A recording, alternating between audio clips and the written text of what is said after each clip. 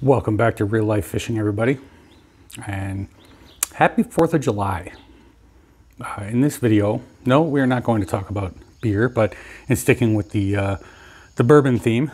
So we've got some uh, Kentucky Bourbon Barrel Ale here from uh, Lexington Brewery, or Lexington Brewing, rather. Um, good stuff. Little, little high test, but uh, I like it. So what is it that we're going to talk about then? Uh, today we're going to talk about trailering.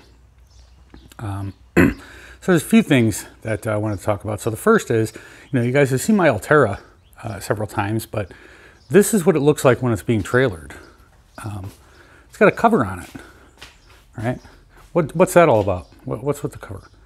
Um, so the cover is because, uh, as it turns out, I didn't have that on there when I uh, when I first got the rig, and up here in Wisconsin, we fish a lot of small little lakes, and I drug it down a whole mass of dirt roads. Um, and what happened? So this cover though, it's got these posts that go in the, the hole there. You see. So let me pop this off. and I'll show you what happened.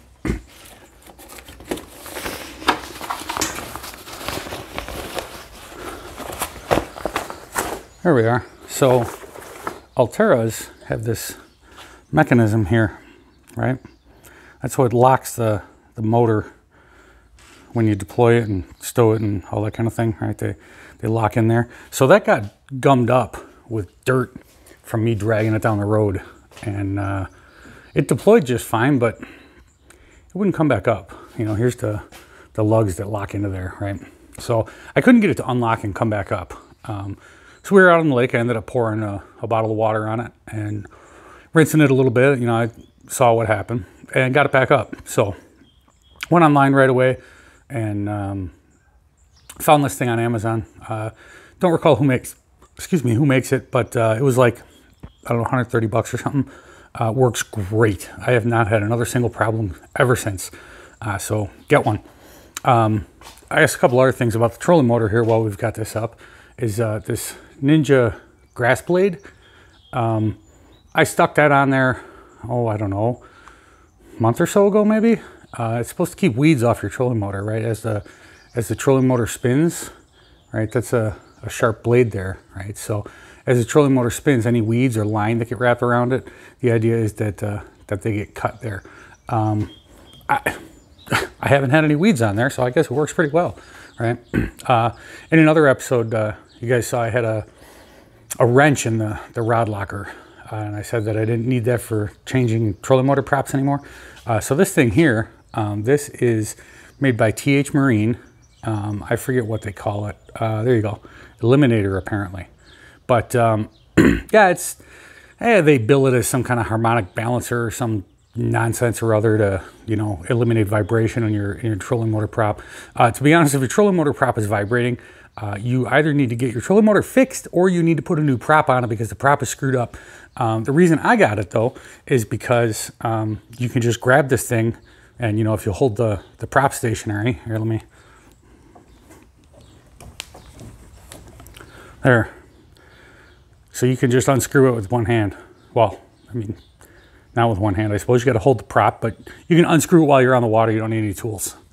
So if you need to change the trolling motor prop while you're on the water, um, you can just unscrew that thing and you're all set. Uh, so next, um, winch, right? You need a winch on your boat. Um, I replaced the factory one that was on here with this Fulton F2. Uh, you see this, uh, the handle is popped out, right? You push it in. So you got high speed and low speed.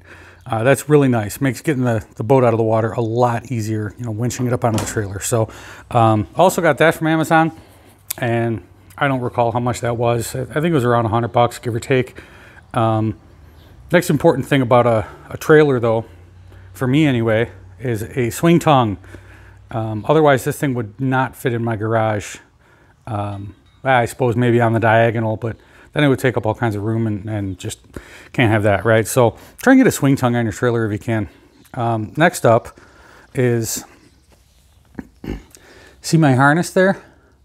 It's got uh, six wires going to it uh, instead of the, uh, the four or five that most of you might be familiar with.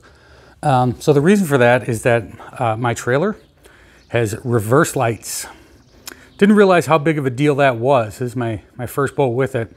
And uh, I didn't order this trailer. I just uh, picked it up from the from the dealership. You know, I bought it and whatever. But um, in comparing it to, to Buddy's trailers and, and so forth, uh, those reverse lights make a, a tremendous amount of difference. Um, you know, I even noticed them right away, actually, uh, you know, because my, my previous boats did not have uh, reverse lights on them. And so it makes retrieving at night a lot easier.